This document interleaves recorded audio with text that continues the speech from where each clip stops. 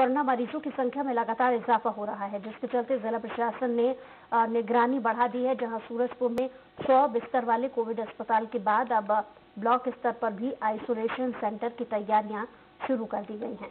बहुत जल्द ही 522 बिस्तरों वाले आइसोलेशन सेंटर तैयार किए जाएँगे।